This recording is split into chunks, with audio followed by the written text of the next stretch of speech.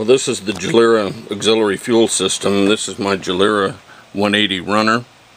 I have Givi luggage on here. Um, these side bags contain an MSR fuel bladder uh, with a quick disconnect and an inline fuel filter and it's plumbed down here to another quick disconnect uh, so the bags can come off.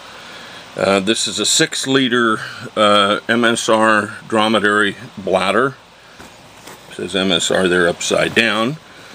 And it fits neatly in this uh, Givi aero bag. And in the tail bag,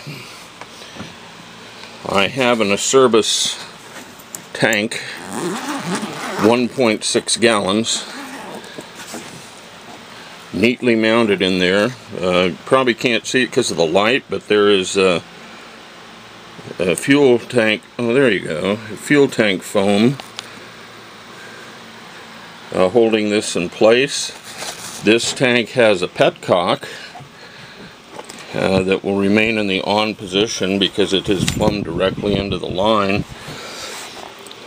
It uh, I installed a grommet I installed grommets in all of the bags. There's also an inline fuel filter and this goes down to a quick disconnect so that the Givi bag can be easily removed.